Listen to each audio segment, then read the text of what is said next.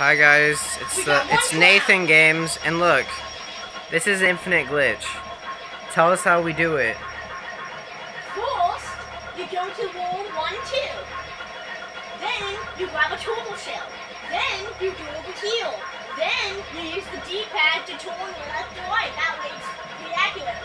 Then you throw it. You can take one hit, but then start jumping on the turtle shell And that right th that right there, it means 1,110.